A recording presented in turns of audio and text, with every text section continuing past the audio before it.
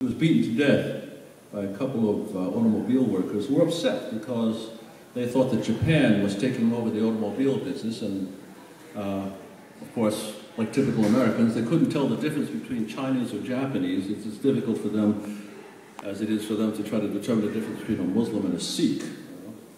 Um, so uh, he was beaten to death, uh, which was bad enough, but then we found out uh, his uh, murderers were sentenced to $3,000 fine and three years probation, which was very awkward. And it reminded us that that was one of the key points for most of us as Asians in this country, which is that most people in this country cannot tell the difference from one Asian to another. Hey, by the way, in case you're not sure, most people in this country can't tell the difference between an Asian and a Polynesian.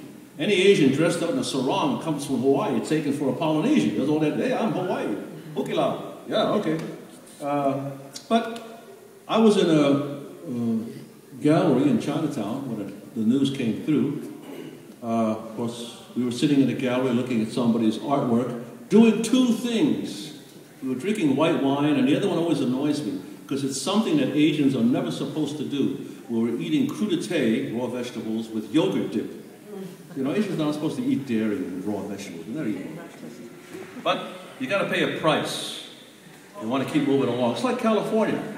Asians have done very well in California, but they have paid a terrible price. They've become Californians.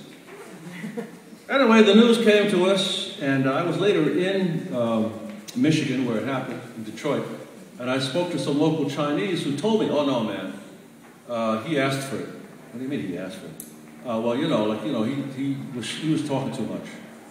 He asked for it? Yeah, and like, besides, I don't even worry about that, man. I'll let, I'll let Jesus Christ worry about that. Jesus Christ worries about it. Yeah, man, my church, we, we don't worry about that stuff. We let Jesus Christ worry about it.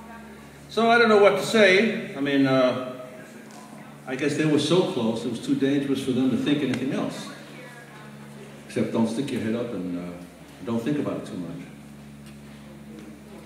Yeah, I hope they don't get you,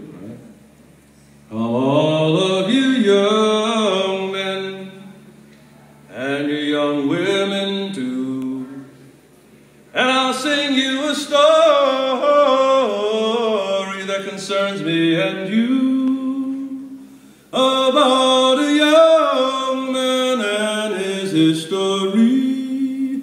Could have happened to you, could have happened to me. Young Vincent, he went out to celebrate. So soon to be married, he just couldn't wait. All laughter and drinking were all he thought about. Till from the end of the bar came a low, ugly shout to men who sat drinking, named Ebens and Nitz, a pair of foul bearers. The name surely fits.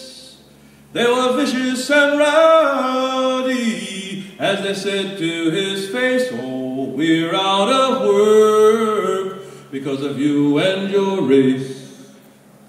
Words led to words, shouts led to more, till all in the argument were asked out the door.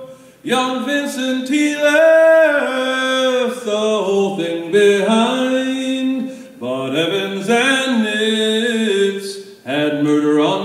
mind. They followed and beat him till he fell to the ground.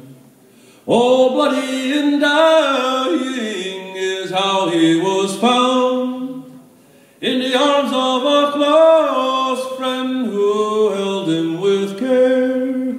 His very last words, it just isn't fair. Ebens and go down to the jail. But the lawyer he pleads, oh please lower the bell.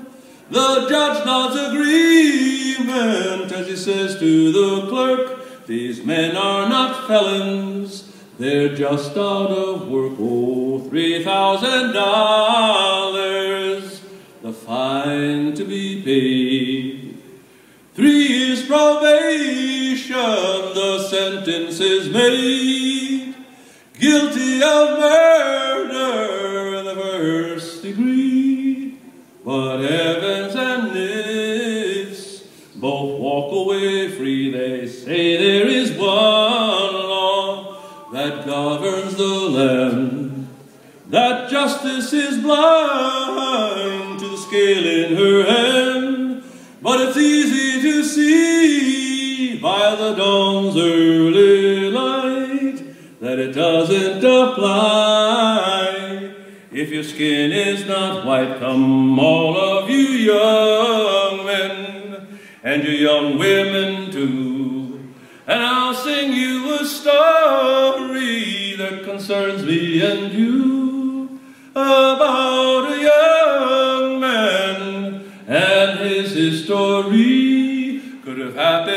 you, could have happened to.